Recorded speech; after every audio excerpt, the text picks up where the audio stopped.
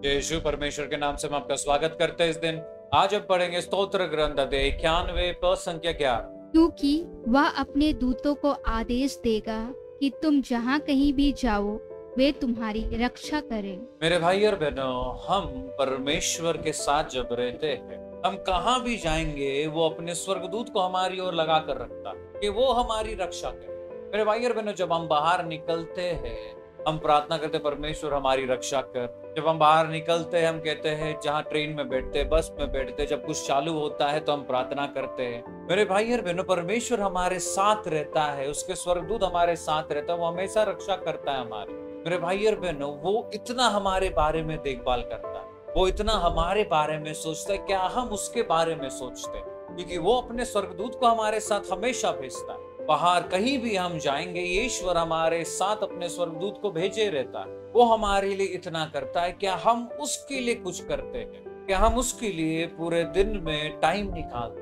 बैठकर वचन पढ़ते हैं, बैठकर ये जानते हैं कि परमेश्वर तू हमसे क्या चाहता वो जानता है कि हम क्या चाहते हैं, क्या हम जानते हैं कि वो क्या चाहते वो हमारी रक्षा हर चीज़ों से करता है, मेरे भाई और बहनों। जिस प्रकार एक पिता अपने बेटे की और अपनी बेटी का रक्षा करता है उस प्रकार वो स्वर्ग पिता हमारी रक्षा करता है। वो अपने स्वर्गदूत को हमारी ओर तैनात लगाता है। हम बाहर कहीं भी जाए, रात में, दिन में, हमारे साथ वो हमेशा रहता है। जिस प्रकार जब इज़राइली लोग बाहर निकले, वो दिन में बादल की समान और रात में अग्नि की समान उनके आगे आगे जाता था। मेरे भाई और बहनों, वो उस प्रकार का प्रेमी पिता है। वो हमारे लिए हर एक चीज़ करता है। क्या हम उसके लिए समय निकालते हैं? आज हमारा प्रश्न हर एक व्यक्ति से जो हमें देख रहे, सुन रहे, वो अगर हमारे लिए इतना कुछ कर सकता है, क्या हम उसके लिए थोड़ा सा समय नहीं निकाल सकते अपने पूर्ण दिल में? इस समय अपने आँखों को बंद रख कर अपना पूरा ध्यान ईश्वर की ओर लगाए। हे पिता परमेश्वर, इस दिन के लिए धन्यवाद देते सुंदर वचन के लिए धन्यवाद देते हैं। परमेश्वर, तू हमारे लिए हर एक चीज़ करता है, तू हमारे लिए अपने स्वर्गदूत को हमारे आगे आगे भेजता है। हमें अपने पूर्ण रूप से संरक्षण में रखता है। परमेश्वर हर एक चीज़ तू हमारे लिए करता है। क्या हम तेरे लिए समय निकालते? तू ये जानता है।